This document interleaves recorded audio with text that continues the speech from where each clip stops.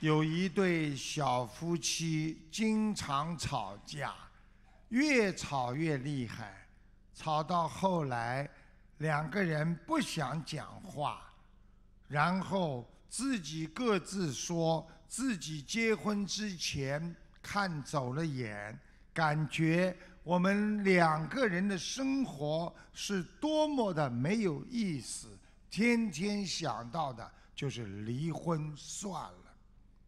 父亲知道之后，就说：“儿子，孩子啊，我问你，你妻子有没有优点呢？”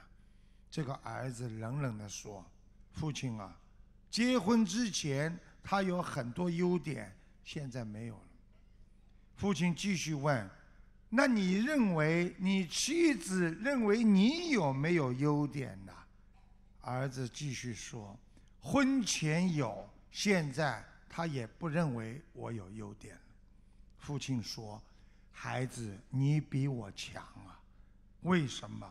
我结婚前我都不知道你妈妈有什么优点是什么。”父亲走到门口，拿起了一块砖瓦，还拿起了一团棉花，举得很高，问儿子：“孩子，你觉得？”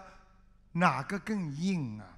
儿子说：“当然是瓦片了。”父亲就同时把瓦片和棉花举得高高的，然后放下来，松开手，瓦片被摔得四分五裂，棉花却轻轻地飘落在地板上，丝毫无损。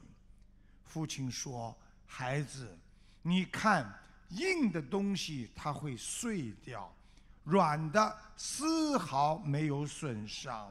孩子，你应该像棉花一样做人，要谦卑呀。你不要去伤别人，一定就不会伤到你自己。你整天的说你太太不好，你就像瓦片一样，有棱有角。遇冷则冰，遇硬则碎呀！伤害别人的人，一定最后会伤害到你自己呀！承认别人的优点，你会让自己感觉到很温暖；盯住别人的缺点，孩子，你会让自己每天活得很伤心和痛苦啊！父亲继续说。要学习棉花，为别人抵御风寒；要像阳光一样的温暖。一句好话，孩子，你可以让你的妻子温暖一生啊！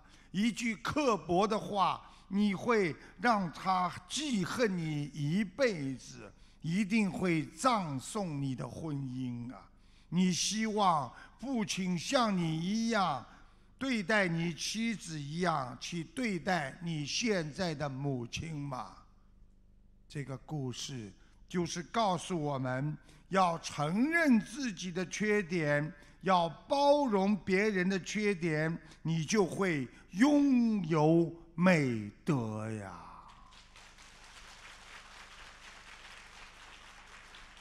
天天记恨别人。伤的是我们自己呀，感情像牙齿啊，掉了就没有了，就算再装上去，那也是假的呀，珍惜吧。